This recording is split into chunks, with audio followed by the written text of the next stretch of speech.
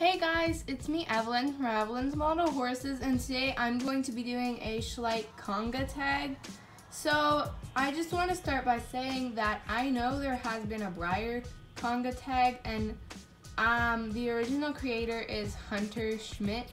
I don't think he's active on YouTube anymore, so yeah, but I have made my own sort of questions but I also have taken some of the questions from that tag and included them into this tag. So it's partially made by me, but not really. So without any further ado, let's get on with the video.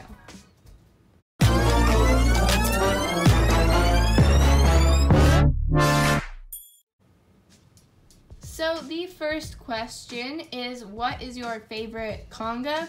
So my favorite conga are these two rearing stallions. I think there's a third on the mold, which is like exclusive and hard to find, so I don't have that. Um, so anyways, I just find these guys really unique and really pretty. Um, so yeah, I the I don't really have a favorite on this mold, but I kind of have a favorite for this guy because I just really like grays for some reason, even though they're super hard to clean.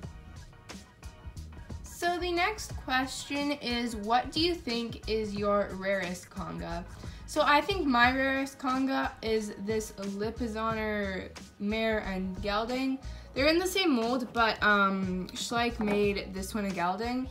I think it's because it was exclusive or something and in like some sort of older set. So anyways, I really like these ones. Um, I got this one off of eBay and I really like it. They are both used, but I think they're very pretty. And not a lot of people have um, the white Lipizzaner um, gelding, which I know is called a gray. Um, it's just easier for non-horsey people to call it a white horse. So I just think not a lot of people have him in their collections, and therefore this is why this conga is the rarest. So the next question is what is your biggest conga? Now I do have a lot of congas of threes, but I don't have any of four horse congas, which um, I don't think is actually possible right now. So anyways, this is one example of my biggest conga. I'm shaking the camera, that's not very good. anyways, um, so it's the Thoroughbred Mare conga. So this one is a regular one. So this one, the chestnut you get in a set and then the white slash gray one comes with came with the 2018 advent calendar, I think. Maybe. Probably. Anyways, so I just really like this mold for some reason. Um, I just really like the pose. It's just very pretty. And for, and I also really like thoroughbreds. So, yeah. So for the next question, you might be wondering, why is there only one horse? So this question is a, mold uh, a conga that you want to have. So this is the horse that I want a conga. Um, I just think I missed like the prime time to buy and collect Schleich. So the other one I think on this mold is the gray and black Tennessee Walker Stallion and I'm really looking for him. So yeah, um, anyways, I think this guy is really pretty. He looks like a horse I ride at my barn, and I just think he's very pretty, and I, I really wish I got the other one when I had the chance. So for the next question, it's it's the question, um, a mold you like but haven't considered or planned on congaing. And this here is the newer Andalusian Stallion, and I really do like this mold. Um, the other one is the Palomino.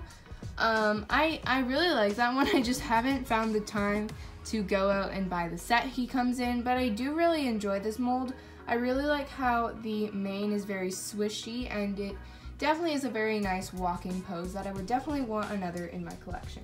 Also, I don't have a lot of pin, uh, not pintos, Palominos in my collection, so I would. There isn't really a reason for me not to go out and buy it, but I just didn't have the time.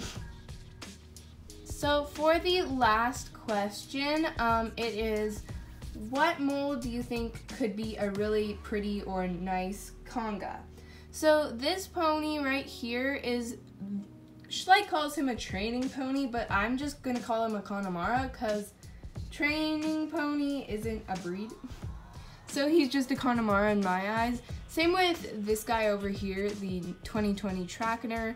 Um, he is a little too small. He's almost pony size, so I just call him, a, again, a Connemara. So back to this guy. I really think he would make a really cool and cute Conga. He's just so cute, as you can see. Um, I really like how he's positioned, and I like how his hooves are a very natural color. They aren't like really tan or anything but I think he would just be so cute as a conga. Thank you guys so much for watching. I really hope you enjoyed this video. Um, so see you guys next week and bye-bye.